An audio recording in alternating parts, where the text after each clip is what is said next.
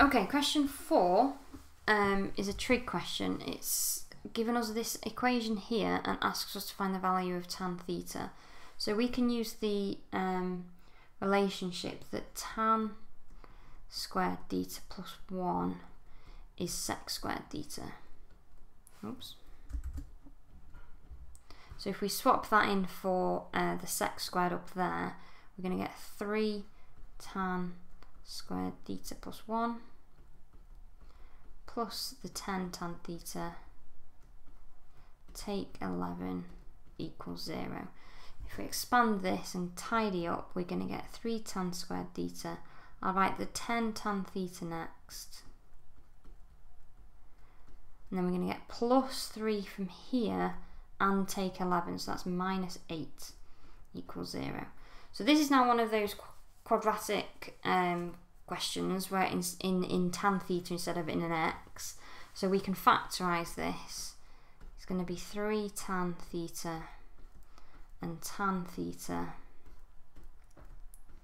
And we need to make an 8. So it's either going to be 8 and 1, which won't get us a 10, or 4 and 2, which will. Uh, so that would be 12 and take away 2 will give us 10.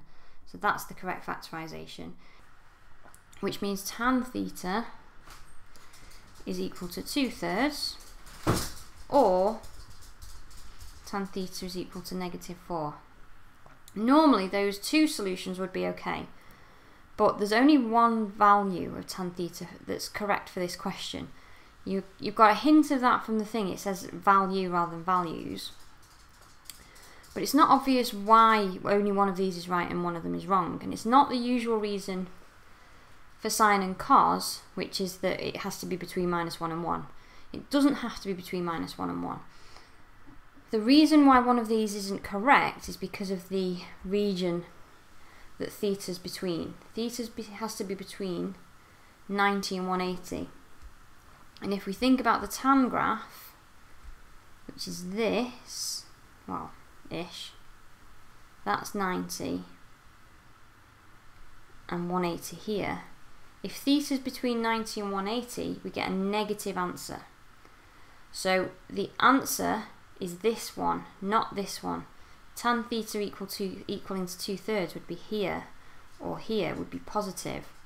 And, the, and there isn't an answer between 890 and 180 um, um, for two thirds. So it's not this one. This is not correct. It's only tan theta equals negative 4.